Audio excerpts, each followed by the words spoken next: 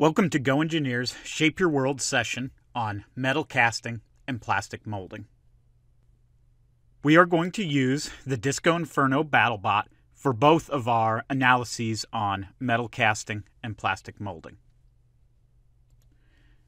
We're going to start with metal casting and we're going to use Click to Cast by solidThinking. Click to Cast is casting simulation in five easy steps. We open the geometry, we define the ingate and mesh, we set up the process parameters, we run the calculations, and then we analyze the results. The part we're going to use is the tooth on the spinning disc. The first step of the process is we're going to define some additional components. Because we have modeled the ingate and the riser, we need to add a sleeve around the riser to insulate it. So we'll go to sleeve. And we're going to pick the faces of our riser. And then we'll step through the wizard. The next step is to define the ingate. We can use an automatic ingate which will apply the ingate to the entire face that we choose, or we can use an advanced ingate where we define the shape, whether it's rectangular or round. We want round. And then we define the diameter. And then we also define the plane that it will be on. And for ours, it'll be the XZ plane. Then we pick the area that we want the ingate defined on. And then the next step is to define the mesh. We're going to use the default size. So we just hit create mesh. Once the mesh is finished, we'll just hit next on the wizard. And now we define our part material and our mold material. So we're going to use carbon steel and we're going to use green sand for the mold. For the sleeve parameters, we're going to leave those at the defaults. And for our gravity, it will be in the negative y. And we're going to use fill time of 4 seconds. Then we just hit next on the wizard. And we can have just the filling analysis, or we can have both the filling and the solidification. We want both, and then we'll hit calculate.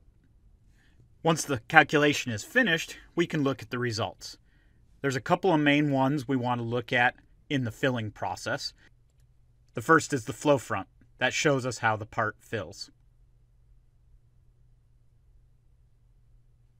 The next one we might want to look at is the temperature. So we can see what the final temperature of the part is. We can then look at the velocities, and that will tell us if we have turbulent areas in the filling process that we might want to change. And then we want to look at air traps.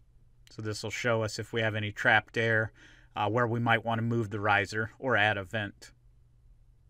Now we're going to look at the solidification results. And the main one we want to look at is how the part solidifies. So the area in red is what's liquid. And we want to make sure that the last place to solidify is in the gate and or riser. And that's what our model has. This tells us that we have a good location for the gate and we have a good location for the riser. Another look at that is the porosity. And we can see our porosity is up in the riser where we want it. And that is a look at metal casting with Click to Cast. Now we're going to look at SOLIDWORKS Plastics for plastic injection molding. We're going to look at an LED light and we're going to mold the housing. Similar to Click to Cast, SOLIDWORKS Plastics uses six simple steps to set up the analysis. We create the mesh, we define the polymer, we define the fill settings, we define the injection locations, we run the calculations, and then we analyze the results. Our first analysis is going to be a single cavity for the LED housing. The first step of our analysis is to create the mesh, and we're going to use the shell mesh with the automatic setting. This is going to analyze the geometry and pick the mesh size for us and then mesh the part. Once the part is meshed, we get the rest of our study tree. The next thing we do is define the polymer that we want to use. So we're going to go into material and we're going to open the polymer database. The polymer database can either be sorted by family of plastic or the company that manufactures the plastic. We want to look at the family and we're going to go to PPS. We'll go into our PPS and we want to use our Phillips R4. And then we can look at the material data that is in the library.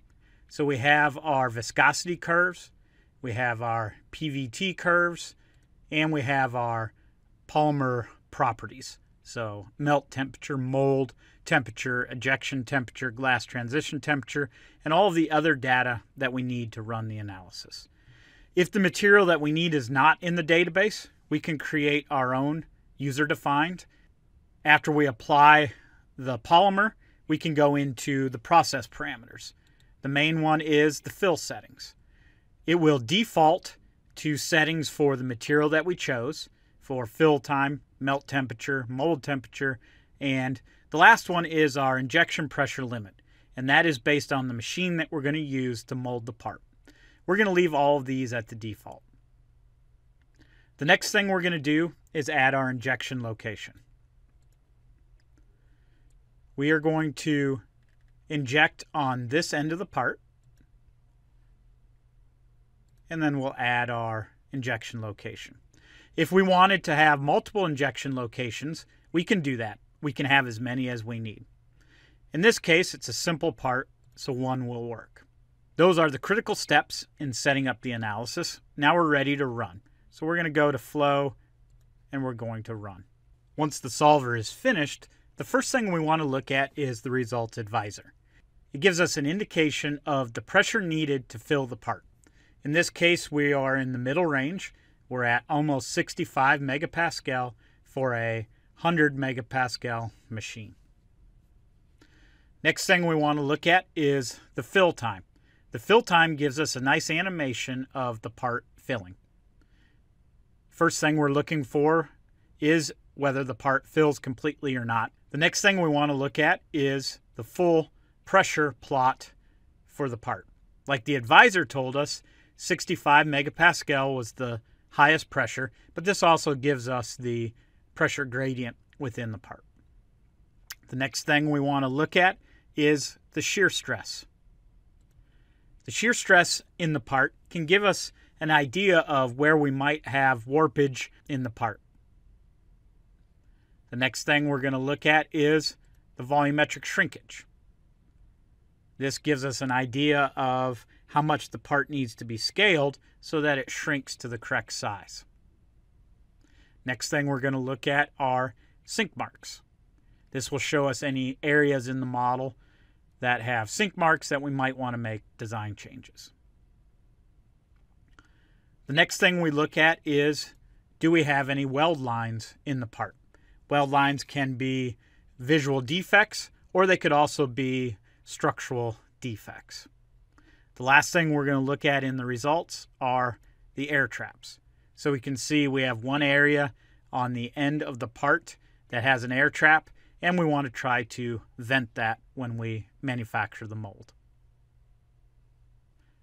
So this gives us a look at our single cavity injection molding. The next analysis we're going to run is two cavities with the runner and gate system modeled in SOLIDWORKS. We're also going to use a solid mesh for this analysis, and we're going to use the manual method. The first step of the meshing process is that SOLIDWORKS analyzes the geometry. Once it analyzes the geometry, it finds all the bodies in the model. We have three bodies, two cavities, and one runner system.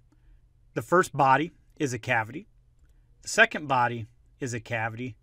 The third body is our runner system. So we change it to runner and we hit apply. Then we hit next through the wizard. Next is setting the size of the mesh. And we could also do local refinement if we wanted.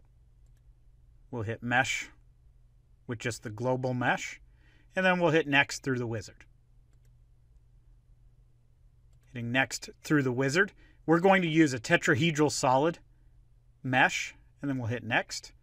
And we're also going to use the hybrid method of generating the mesh.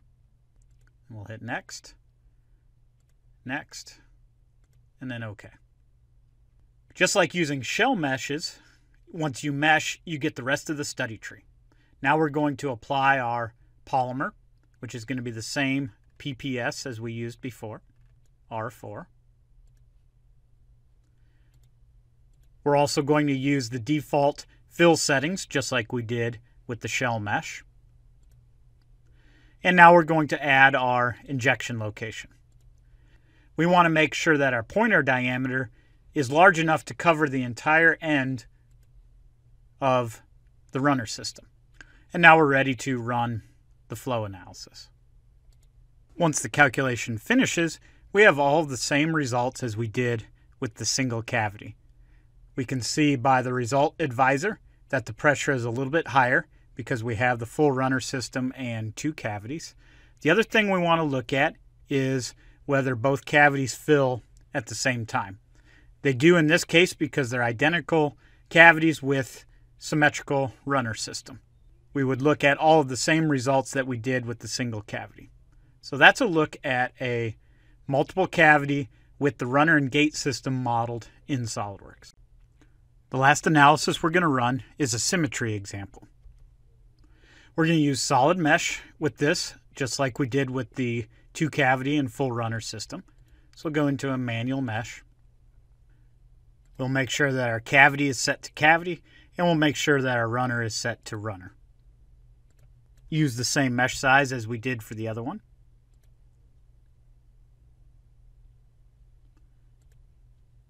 And we'll work our way through the wizard.